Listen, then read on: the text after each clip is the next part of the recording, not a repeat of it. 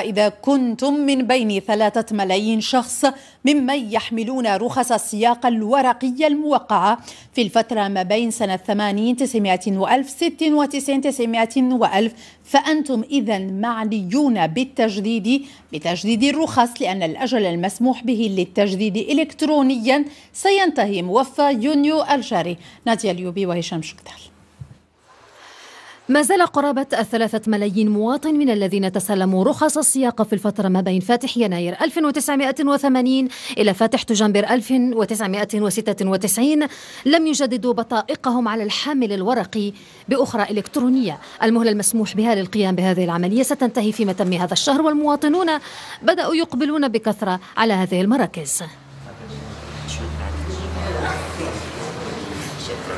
آه، جيت هنا باش نبدل البيرمي لأن قالوا لي آخر أجل 31 في هذا الشهر. وعلاش هذا التأخير؟ هو التاخير الظروف يعني ما سمحتش لي الظروف باش نجي نبدلو. لا خص الناس يجيو شوية بكري باش يحبسوا من بعد يكون الزحام أو شي حاجة اللهم يجيو بكري باش يدفعوا. دابا أنا جيت تأخرت شوية ولكن جيت الحمد لله الناس مساعدة شوية الناس ساعدونا وحنا دوزنا كل شيء بخير على خير. لتيسير عملية تجديد بطائق السياقة على الحامل الورقي بأخرى إلكترونية عملت الوزارة الوصية على التعاقد مع شركة خاصة تفاديا للاكتظاظ وذلك عبر الولوج إلى عنوان بريدي إلكتروني للشركة. آه، هناك وكالتين لتجديد رخص السياقة اللي هي الدار الشمالية والدار الشرقية.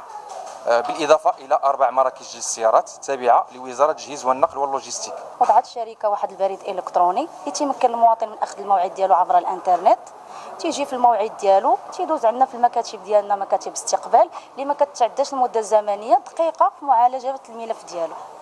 كثيرون هم أولئك الذين قاموا بسحب بطائقهم الإلكترونية.